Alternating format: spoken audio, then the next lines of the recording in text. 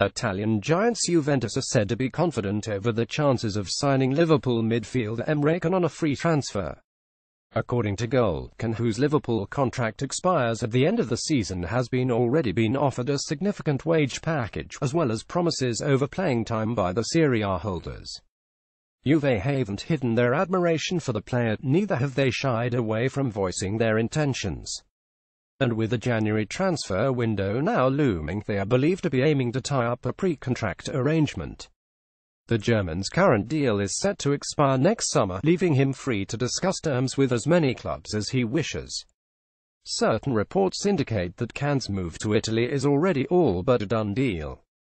However, both Liverpool and Juventus have denied as much, with Jurgen Klopp and the Reds still trying to convince the German star to sign new terms.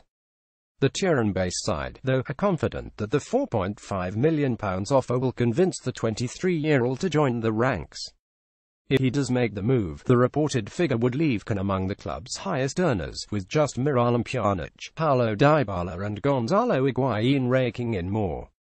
Reds boss Jurgen Klopp, meanwhile, recently told reporters that there has been no development regarding Can's future at Anfield. We spoke about that already a lot of times, the manager said. And I said that he can sign but the only difference from January is that he can also sign for another club, that's all. For us there is no difference.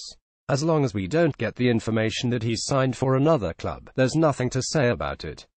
And I speak a lot to Emre, like other players too, but it's pretty rare that I speak to him about the contract situation because I've gave already all the information that we can give, that's it.